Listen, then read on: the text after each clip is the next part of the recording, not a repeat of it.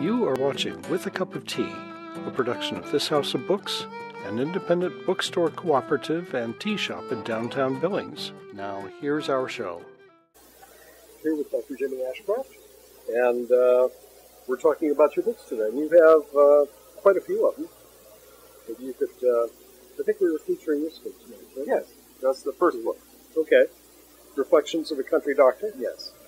What can you tell me about that book? What's it about?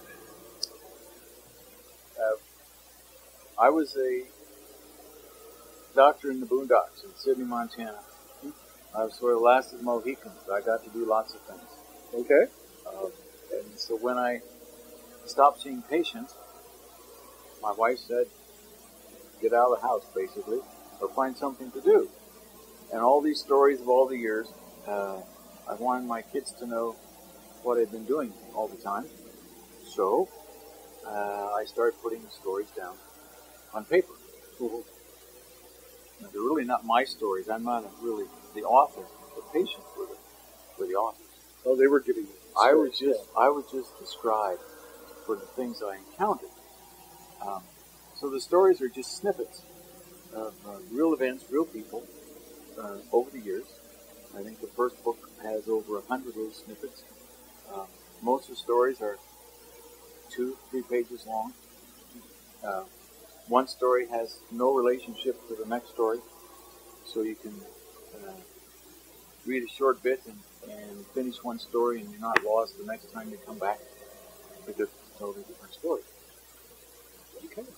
Um, So these are just basically uh, reflections of what happened uh, in your practice.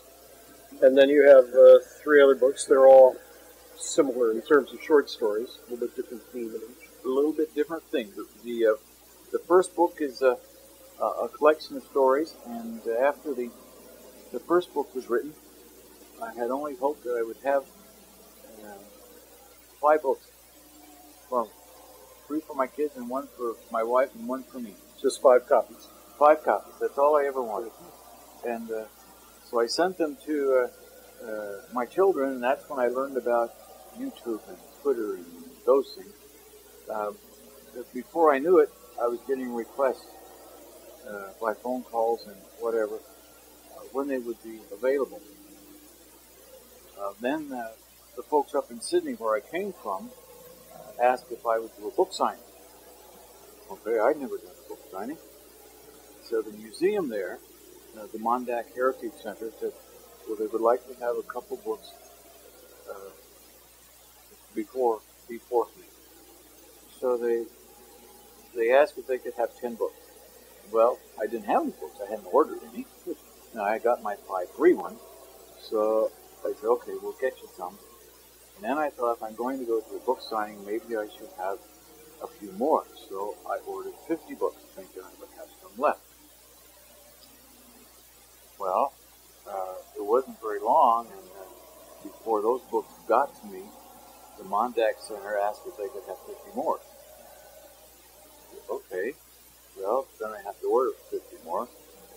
Uh, well, this kept going on. Then we went to the, the Sunrise Festival, and, and I think we sold about 350 books that weekend. That's a lot of books. Is it? Yeah, that, that's very know. good sales. Very good I, I'd never, uh, never had a book sale, and and some of the people had already had the uh, the books outlined and marked, and they want to know if I would validate who the people were in the books. No, no one has their real names in there, and I obviously didn't do that. And some of the folks uh, who had read it wanted to know when the next book was coming out, and I think, in retrospect, they wanted the second book because they weren't in the first book. They also want to know about my wife, and she was an integral part of things we did. Um, so they want uh, a book with uh, a chapter about her, and they knew I had a difficult uh, childhood, so they want to know a little bit about that. Okay, we'll go for it. And I still had lots and lots of stories. So we wrote another book, and and um, I tried to to get my wife to write a story, and that didn't happen. After many months of trying, my part was done, and she finally wrote a few um, words down. And one of my daughters says, "Mom, it's a good start." Actually, a few words, like two sentences. Um, so she, we put into a foreword. So she got about two pages of foreword. She got through that. So that was the, the people who wanted uh, what my wife got to do. She put it in the foreword and finished that book. And that was going to be the last book. Um, well, as life would happen, uh, my nurse of some years uh, died unexpectedly from an adverse medical event. And I, I absolutely felt compelled at her, uh, at her funeral to write a book in her memory about things that you don't expect. Some are good, some are bad, all the things, many of the things that we saw together uh, that happen in medicine and life, um, things about unexpected things. Uh, and the little goofy thing on the front, that's me. That, that's, yeah, that's me. That was my 30th birthday present from my, my nurse who died. The four rocks from the Yellowstone River that she painted. And that was going to be the last one. And then I got frustrated with with the misinformation uh, on the television about drugs and appliances and things. So I was going to write an expose about uh, communicating and how things are not exactly as they seem. And well, it didn't turn out exactly that way. But anyhow, another book came about about how different people uh, uh, talk to doctors, how doctors communicate. So it has stories about uh, body language, what patients tell you, but it's not what they're saying. Uh, what you hear on the television may or may not be true. Uh, troubles with telephones, trouble with pages, uh, the kind of difficulties we ran into out in the country. So that's, and as you would have it, uh, when the last one was, was presented at the last Art in the Park, people want to know when the next one was. So, so, so I don't know how that's going to work. Let me just ask, who who do you think these books would appeal to? Uh, anyone who likes, well, they're all true stories. So uh, anything about happens with real life. Uh, these none of these stories are made up. They all happen to me and the people who are in them. They're all short. So uh, uh, I've told people many times that they're made for people with attention deficit disorder uh, or time constraints. Yeah. Because uh, most of the stories are are short between well in the first book they're about one to three pages.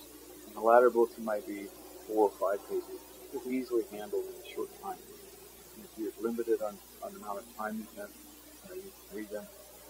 Uh, they're historical in that uh, they talk about the kind of things that I got to see in a different era of medicine. Yes. I got to make uh, house calls in the winter, 80 miles out of town. Uh, got to deliver babies uh, that were very sick when the air ambulance has been run. Uh, and I got to do a lot of things out there in the middle of nowhere because I was my own backup for many years. Well, thank you very much. Oh, thank you for having me come by. Yeah.